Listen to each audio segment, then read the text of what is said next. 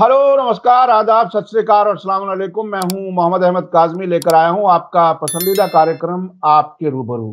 Media star world لگاتار آپ کو اسرائیل فلسطین جنگ کی اپڈیٹ پہنچا رہا ہے۔ روزانہ تازہ خبریں، کسی جانکار سے بات چیت اور اس کے علاوہ بھی بہت کچھ انفارمیشن ہم آپ تک پہنچانے کی کوشش کر رہے ہیں۔ دنیا بھر میں میڈیا سٹار ورلڈ کو کافی لوگ پسند کر رہے ہیں کیونکہ بہت ہی بیلنس رپورٹنگ سورسز کے حوالے سے ہم آپ تک پہنچا رہے ہیں۔ آج آپ کی ملاقات میں کرا رہا ہوں فارمر ممبر پارلیمنٹ محمد ادیب صاحب سے، جنہوں نے ابھی حال ہی میں نئی دلی میں لودھی روڈ پر موجود انڈیا اسلامک کلچرل سینٹر اس میں human rights and United Nations کے نام سے ایک پروگرام کیا ہے۔ کافی بڑی تعداد میں لوگ آئے اور آپ یہ جو پروگرام ہوا وہ Indian Muslims for civil rights کی طرف سے ہوا۔ جس کے محمد ادیب صاحب پریزیڈنٹ ہیں۔ بہت لوگ آئے، مختلف ملکوں کے ڈپلومیٹس آئے اور یہ سمجھنے کی کوشش کی گئی کہ آخر اس کا نتیجہ کیا ہوگا جو یہ اتنا بڑا کرائسس ہے۔ تقریباً بیس ہزار لوگ مارے جا چکے ہیں فلسطینی۔ اسرائیل اپنے مرنے والوں کی تعداد ٹھیک نہیں بتا رہے۔ فوجیوں کی خاص طور پر پورے علاقے میں کیوس ہے۔ ہوتی بابل مندب کو بند کیے ہوئے ہیں کہ اسرائیل جانے آنے والے جہازوں کو روکا جائے۔ حزب اللہ بھی اپنی طرف سے اسرائیل پر حملے کر رہا ہے۔ دونوں طرف سے ٹکراؤ ہے۔ عراق اور سیریا میں امریکی فوجی ٹھکانوں پر حملے ہو رہے ہیں۔ پورے علاقے میں ایک طرح سے آگ لگی ہوئی ہے۔ بھارت میں بیٹھے ہوئے لوگ اس کو کس طرح سے دیکھ رہے ہیں؟ محمد ادیب صاحب نے جو یہ پروگرام کیا ایک کافی وقت گزرنے کے بعد دلی میں اس قسم کا پروگرام جو فلسطینیوں کے ساتھ ہمدردی ظاہر کرنے کے لیے تھا، وہ ہوا۔ بہت سی جگہوں پر پروٹیسٹ نہیں ہونے دیے جا رہے، وہ سارے خبریں آپ کے سامنے ہیں۔ محمد ادیب صاحب، ویلکم ہے آپ کا۔ میڈیا سٹار ورلڈ کو آپ نے وقت دیا۔ آپ یہ بتائیے کہ یہ جو آپ نے کانفرنس کی، جس میں کئی ملکوں کے ایمبیسیڈرز موجود تھے خود فلسطینی ایمبیسیڈر موجود تھے، ترکیہ کے ایمبیسیڈر تھے اور کئی ملکوں کے ڈپلومیٹس تھے۔ اس کانفرنس کا مقصد کیا تھا اور اس میں کیا کچھ نتیجہ نکل کے آیا؟ کیا کوئی آپ نے کوئی اسٹیٹمنٹ جاری کیا؟ یا کوئی کیا اس کے نتیجے کے طور پر آپ کیسے دیکھ رہے ہیں؟ کیا کچھ ہوا اس میں؟ کاظمی صاحب، بہت بہت شکریہ کہ آپ سے میں گفتگو ہوں۔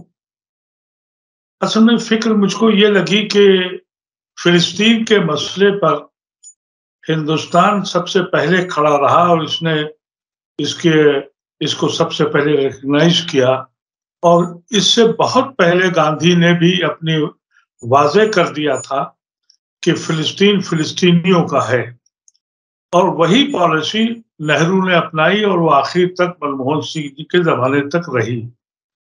حیرت یہ ہوئی کہ جس وقت یہ جنگ شروع ہوئی اس وقت ہمارے پرائم منسٹر نے ایک ایسا بیان دیا جس نے ہماری ستر سال کی فارن پالیسی میں ایک دم پلٹ آ گیا۔ انہوں نے کہا، یہ حماس جو ہے، یہ ٹیررسٹ آرگنائزیشن ہے۔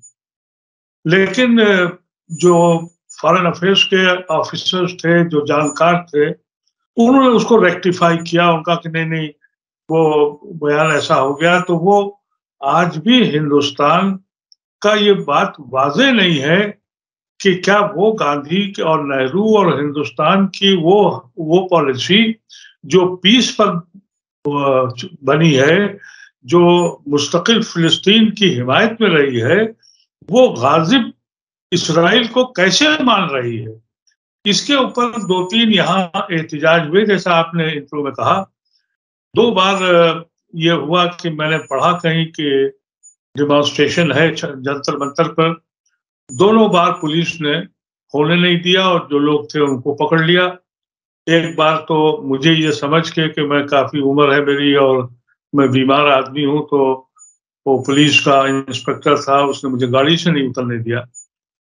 میں یہ دیکھ رہا تھا کہ وہ سارے دنیا کے ممالک جو جن کے سینوں میں درد اٹھتا ہے، جو انصاف کے لیے آواز اٹھاتے ہیں، وہ سڑکوں پہ ہیں۔ بد نصیبی سے ہندوستان میں خاموشی ہے سرکار کی طرف سے۔ عوام بے چین ہے جو یہ دردناک واقعات دیکھے جا رہے ہیں۔ اس وقت ہماری یہ جو آرگنائزیشن ہے Indian Muslim for civil rights اس پہ ہم لوگوں نے یہ فیصلہ کیا کہ بھائی ہم کم سے کم اپنی آواز ان ممالک کو پہنچائیں، ان لوگوں کو پہنچائیں ہم خیال لوگوں کو پہنچائیں کہ بھائی ہم ظالم کے ساتھ نہیں ہیں ہم مظلوم کے ساتھ ہیں۔ وہ چھوٹی سی آواز صحیح، تو اس کے اوپر ہم نے جو کانفرنس کری، تو اس میں چار ملکوں کے تو سفیر خود بخود آئے اور چار اور پانچ مختلف سفارت خانے سے، جیسے چیٹ سے ملیشیا سے ساؤتھ افریقہ سے، اس طرح سے چار اور ملک کے نمائندے آئے۔ سب سے اچھی بات یہ تھی کہ ہندوستان میں ایک راس یعنی سکھ برادری کی نمائندگی وہاں ہوئی، دلتوں کی نمائندگی ہوئی، جے این یو کے نوجوان لیڈر جو اس وقت ہیں وہاں کے، وہ آئے۔ بہت بودھ مذہب کے جو لیڈر ہیں یہاں، وہ تشریف لائے۔ تو اس سے مجھے یہ لگا کہ ایک پیغام، ایک ہمت ہم نے دی اور یہ ثابت کرنے کی کوشش کری۔ ان سارے دنیا کے ان لوگوں کو کہ ہو سکتا ہے کہ ہماری حکومت اتنی ایکٹیو نہ ہو، لیکن عوام آج بھی فلسطین مظلوموں کے ساتھ ہے اور یہ ایگریسر اور وہ قابض لوگ جو ہیں ان کے ساتھ نہیں ہے یہ کوشش تھی اور اس پہ اللہ نے کرم کیا کہ بہت سنجیدہ میں خود یہ کہہ سکتا ہوں کہ میں بہت سے میٹنگوں اور جلسوں میں جاتا ہوں، لیکن سنجیدہ لوگ اور پڑھے لکھے لوگ تین ساڑھے تین گھنٹے وہاں سے ہلے نہیں۔ اور یہی میں سمجھتا ہوں کہ جس سے اندازہ ہوتا ہے کہ ابھی انسانیت اس ملک کے باشندوں میں ہے۔ اچھا ایک چیز میں سمجھنا چاہتا ہوں۔ جی۔ محمود عباس جن کو انٹرنیشنلی ریکگنائز کیا جاتا ہے جب آج کل کے زمانے میں انٹرنیشنل کمیونٹی کہا جاتا ہے تو امریکہ کے ذریعے ایک خاص ڈیفینیشن ہوتی ہے اور وہ اپنے اپنے ساتھی ملکوں کو انٹرنیشنل کمیونٹی کہہ کر کے بالکل اس طرح سے، جیسے ہمارے یہاں کچھ ٹیلی ویژن چینل کے اینکر یہ کہہ دیتے ہیں نیشن وانٹس ٹو نو جو ان کے دل میں ہوتی ہے، وہ ملک کا نام۔ بالکل اسی طرح سے انٹرنیشنل کمیونٹی ٹرم کو استعمال کیا جاتا ہے امریکہ کے ذریعے۔ اور اسی انٹرنیشنل کمیونٹی کے ذریعے ریکگنائز کی ہوئی محمود عباس کی سرکار ہے۔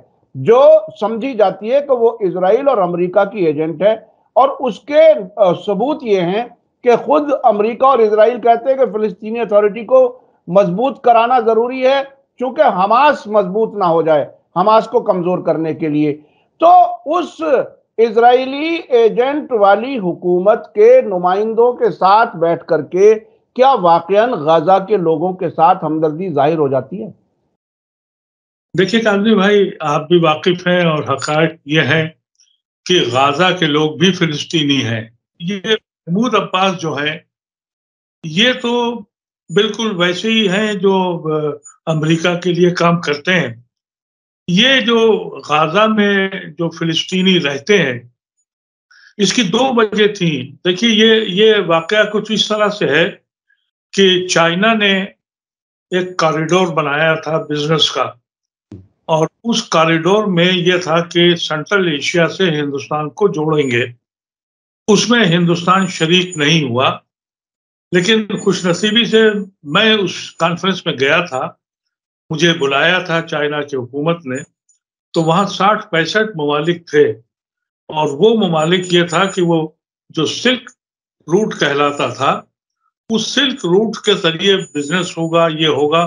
تو امریکہ کو یہ احساس ہوا کہ ہم آئسولیٹ ہو رہے ہیں۔ انڈیا اس امریکہ کی وجہ سے انڈیا نہیں گیا اور اس نے یہ کہا کہ صاحب پاکستان سے ہو کے کیونکہ کاریڈور نکلے گا؟ اب ان کو سمجھ میں یہ بات نہیں آئی کہ پاکستان بیس کروڑ انڈر ڈیولپ کنٹری ہے۔ ہم ایک سو تیس کروڑ ڈیولپ کنٹری ہیں۔ ہمارے یہاں کتنا کاروبار بڑھ جاتا، کتنی ہماری امپلائمنٹ ہوتی ہماری چیزیں ٹرک کے ذریعے سینٹرل ایشیا میں جاتی، پورے پورے مارکیٹ کو پکڑتی، وہاں کوئی سمندر نہیں تھا۔ لیکن ہماری پالیسی بدلی اور ہم نہیں گئے، تو وہ امریکہ کو اس چائنا کے کاریڈور کو روکنا تھا۔ اس وجہ سے جی ٹوینٹی جب یہ یہاں کیا گیا، تو وہ دنیا میں کبھی اتنے اخراجات اور اتنے پمپ شو اور اتنے دکھاوا کبھی کسی ملک نے نہیں کیا تھا۔ لیکن ہندوستان نے کیا اور امریکہ نے اس کی واہ واہ کی۔ سعودی عربیہ کے بادشاہ کو ان کے نائب جو اس وقت ہیں، ان کو بلایا گیا مہمان خصوصی کی حیثیت سے۔ اور یہ فیصلہ ہوا کہ ہم ایک نیا کاریڈور بنائیں گے جو سعودی عربیہ اور اسرائیل سے ہوتا ہوا یورپ جائے گا۔ اب وہ لوگ جو حماس کے لوگ جو تھے، انہوں نے یہ سوچا کہ بھائی یو ای، بحرین اور اس طرح کے سارے ممالک اسرائیل کے ساتھ حکومت بنا چکے ہیں۔ اب اگر کہیں سعودی عربیہ انہوں نے اعلان بھی کر دیا، ابھی تک تو انآفیشلی ان کے تعلقات ہیں آفیشلی انہوں نے اعلان کیا کہ ہم کرنے جا رہے ہیں۔ پھر حماس کے لوگوں کو یہ احساس ہوا کہ یاسر عرفات کے ساتھ جو ایگریمنٹ ہوا تھا کہ فلسطین ایک الگ اسٹیٹ بنے گی، ان زمینوں پر انہوں نے قبضہ کر کے وہاں اپنے سیٹلرز جمع کیے، وہاں پھر آبادیاں بڑھاتے چلے گئے۔ پھر ان لوگ، غازہ کے لوگوں کے پاس کوئی چارہ نہیں تھا۔ انہوں نے سوچا کہ اگر سعودی عربیہ بھی ان کے ساتھ چلا گیا اور یہ روٹ وایا اسرائیل کی طرف سے جائے گا، تو ہم کیا کریں گے؟ ہمارا تو ایشو ختم ہو گیا۔ اس وجہ سے انہوں نے یہ ہمت کری کہ بھائی اب انف از انف اور اب فیصلہ کرنا ہے۔ افسوس اور در افسوس، یہ جو سو کارڈ عرب ممالک ہیں، میں اس پہ بڑا اعتراض کرتا ہوں جب یہ کہتے ہیں کہ یہ مسلم ملک ہیں، میں کہتا ہوں خدارہ ان کو مسلم ملک مت کہیے، عرب کہیے۔ کہ جس طریقے سے انہوں نے پوری دنیا کو جہنم میں ڈالا ہے، میں آپ سے سچ کہتا ہوں کہ سعود اور یہود ایک ہو گئے ہیں۔ اس کی وجہ سے آپ نے سیریا میں کیا دیکھا اور لبنان میں کیا دیکھا اور آپ یمن میں کیا ہوا اور اب فلسطین میں کیا ہو رہا ہے؟ حیرت ہے۔ مجھے اس بات پر کہ ان کے ان کے سینوں میں درد نہیں اٹھتا۔ میں تو یہ سمجھتا ہوں کہ جس طرح کا منظر ہے یہ یہ تو کربلا کی یاد دلاتا ہے۔ کہ پانی بند، کھانا بند، تیر آ رہے ہیں، یہاں بم آ رہے ہیں۔ آپ بول نہیں سکتے۔ آپ کھڑے نہیں ہو سکتے۔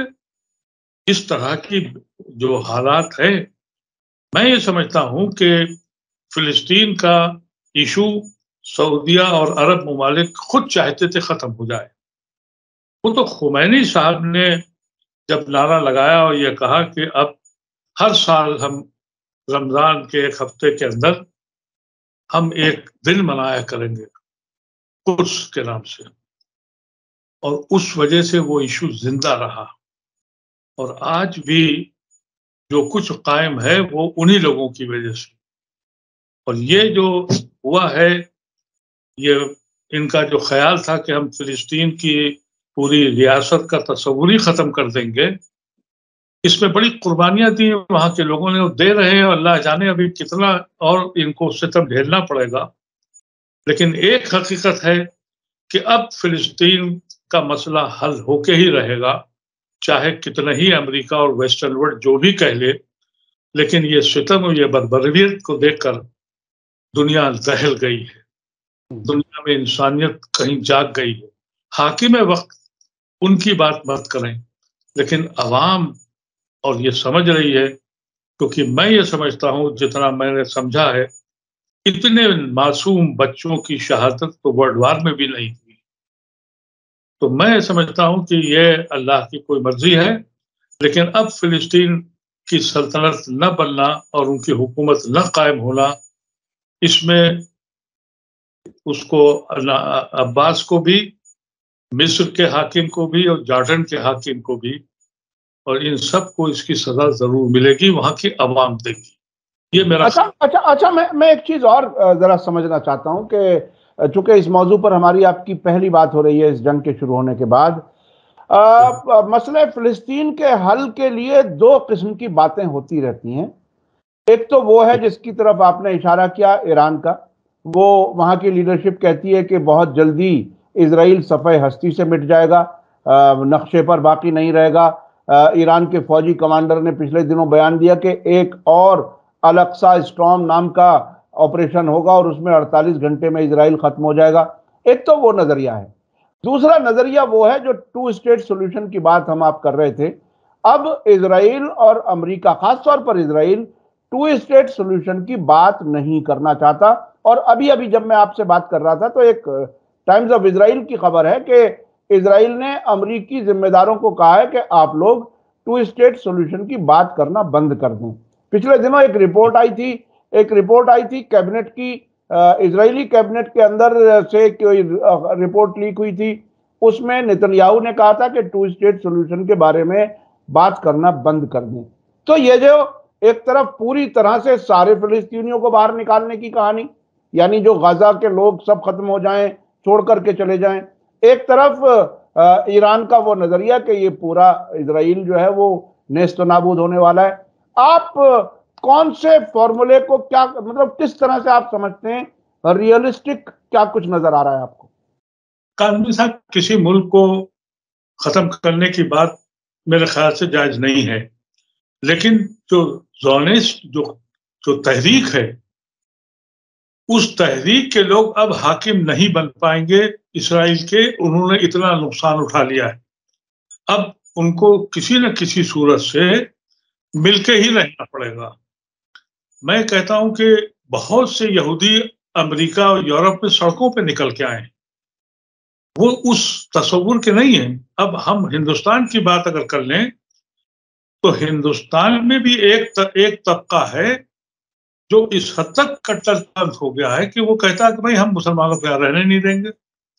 یہ نظریہ غلط ہے۔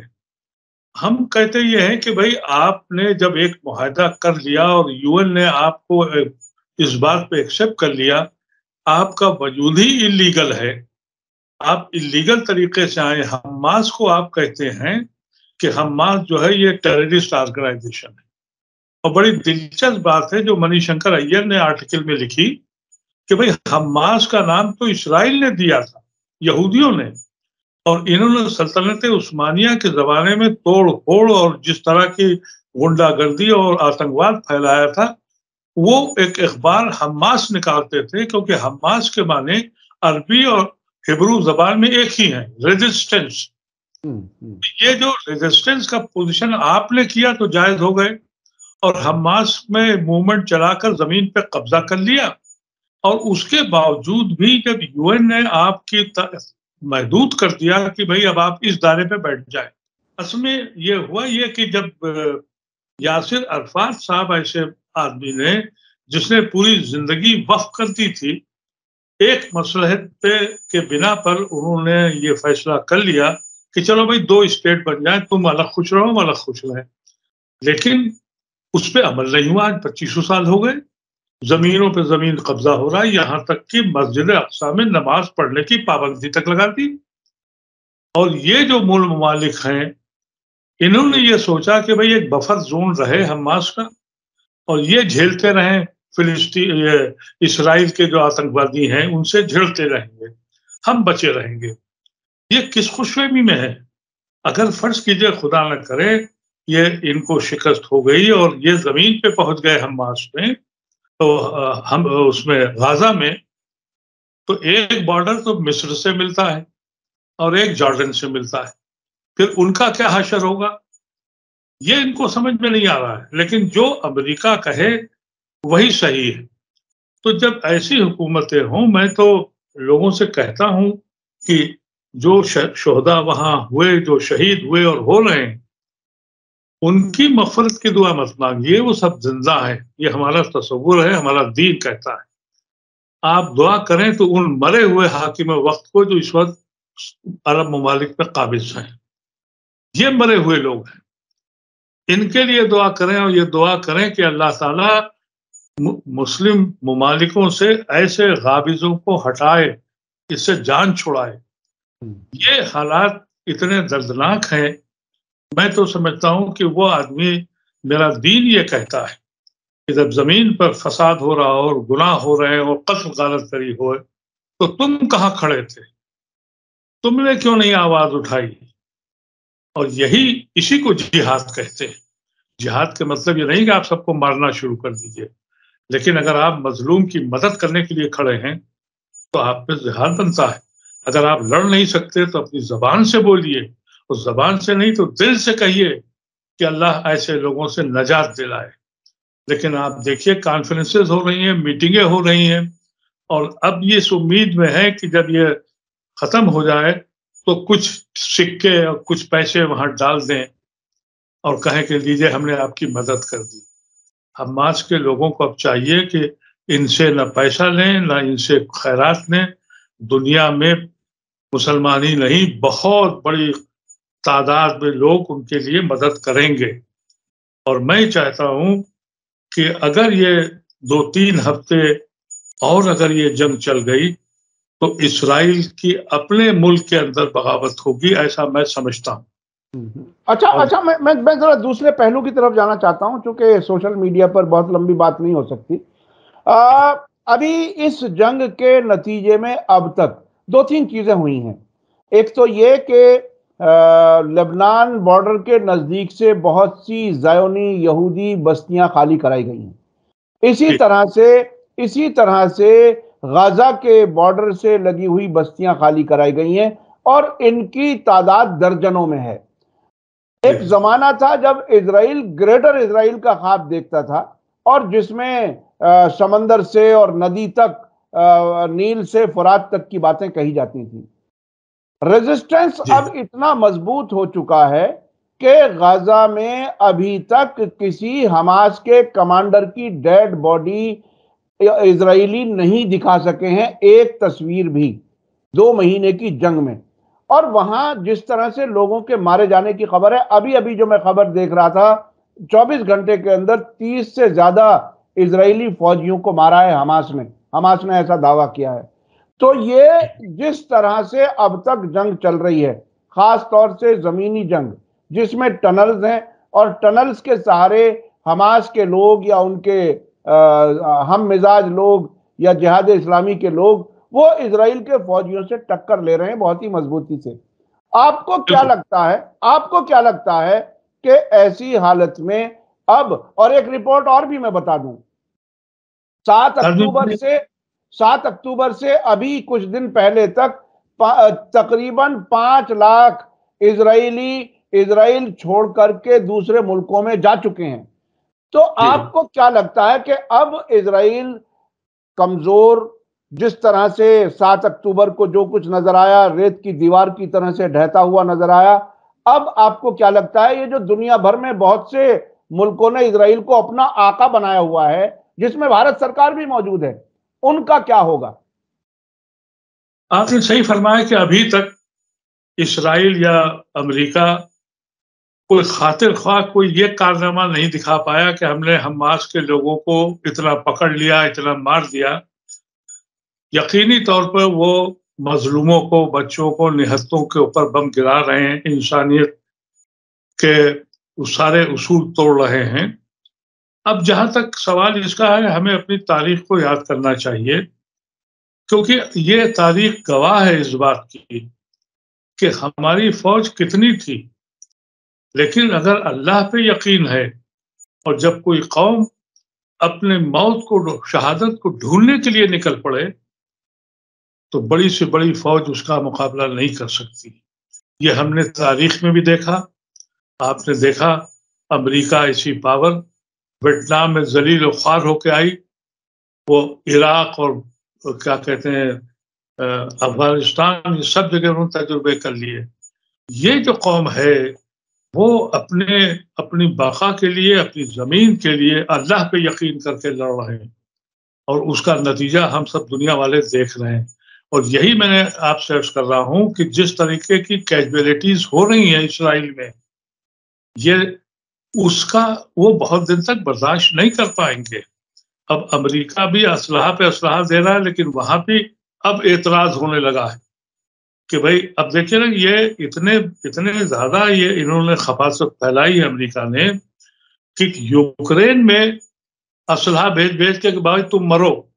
رشا سے ہم آ نہیں رہے، اسلحہ لے لو۔ یوکرین کا بیڑا غر کر دیا۔ افغانستان میں تو کوئی بہت غریب ملک تھا، وہاں فوج لے کے پہنچ گئے۔ عراق میں فوج لے کے پہنچ گئے۔ یہاں ان کو یہ ڈر تھا کہ کہیں ایسا تو نہیں کہ ایران آ جائے ساتھ تو اپنے بیڑے کھڑے کر دیے۔ لیکن خود نہیں گئے وہاں۔ اب میں سمجھتا ہوں کہ یہ اگر جو میں نے ایک بات ابھی آپ سے پہلے بھی کہی تھی کہ ایسا لگتا ہے کہ ابھی یہ ان کو فتح کرنے یا جو ان کا اپنا خود ہی کہہ رہے ہیں کہ چار ہفتے چاہیے۔ ارے چار ہفتے میں اگر اگر جنگ ہو گئی تو ان کے یہاں خود بغاوت ہوگی، کیونکہ ان کی بڑی تعداد کی جو فوج ہے وہ سب ٹرین مطلب وہاں یہ دنیا کا واحد ملک ہے جہاں فوج نہیں ہے، بلکہ عوام فوج ہے۔ یعنی آپ تصور کیجیے، ہر ملک اپنی فوج رکھتا ہے۔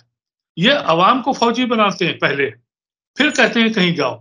اب وہ جو فوجی بنے ہیں، وہ سب بھاگ رہے ہیں اور مر رہے ہیں۔ ان سے مقابلہ ان کا ہے جو اپنے وجود کو زندہ رکھنے کے لیے اپنے اللہ پہ یقین کر کے لڑ رہے ہیں۔ میں سمجھتا ہوں، اس کے بعد ایک دنیا کی نئی تاریخ لکھی جائے گی۔ اور یہ ممالک جو اس وقت امریکہ کے حمایتی ہیں، ان کے ملک میں کبھی نہ کبھی کچھ لوگوں کے دلوں میں اٹھے گا اور یہ انقلاب کی طرف جا رہا ہے۔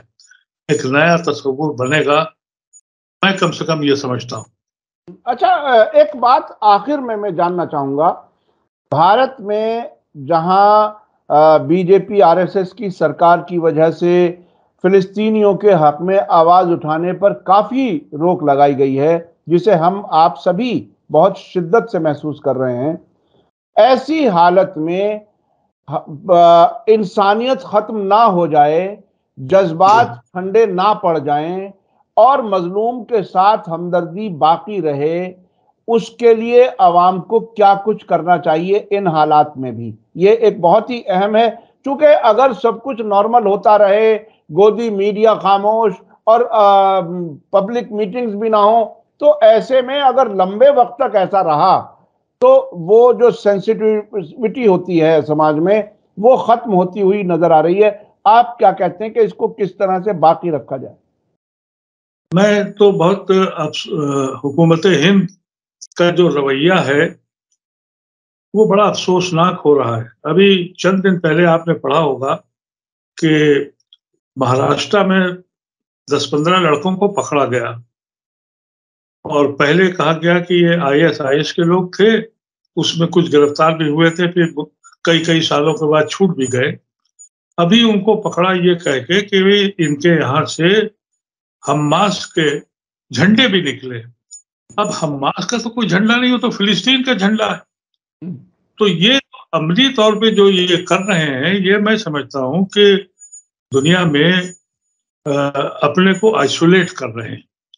آپ یقین کیجیے گا کہ اب امریکہ سے یہ پورا ایشیا کا جو نیٹ ورک ہے وہ چائنا اور رشیا کی طرف شفٹ ہوگا۔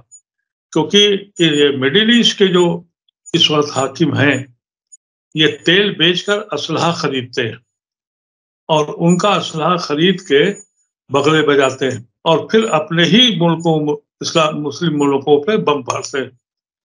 برخلاف اس کے چائنا اور رشیا جو ہیں، یہ مدد کرتے ہیں تو اپنا سامان بیچتے ہیں، تجارت کرتے ہیں۔